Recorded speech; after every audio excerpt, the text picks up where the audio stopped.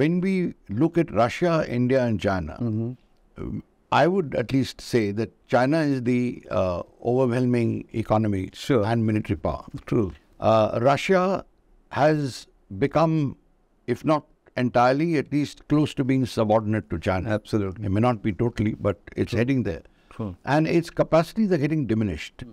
Chinese writings themselves, in fact, uh, there was an article by uh, their um, Chinese Institutes of Contemporary International Relations, Right. which is the 11th Bureau of the Ministry of State Security.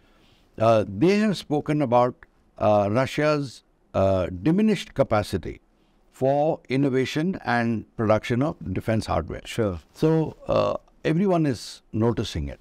Now, in that position, what advantage do we get from an RIC or anything like that? Exactly. I don't see any. In fact, I would say that we are soon going to approach a time when uh, the lines may be even more starkly drawn. Right. Uh, and we may have to uh, make a choice. I don't see, as I said earlier, uh, China becoming friendly towards us No. for a long time. Yeah. Uh, at least till their objectives are met, and we, of course, will not allow that. Yeah.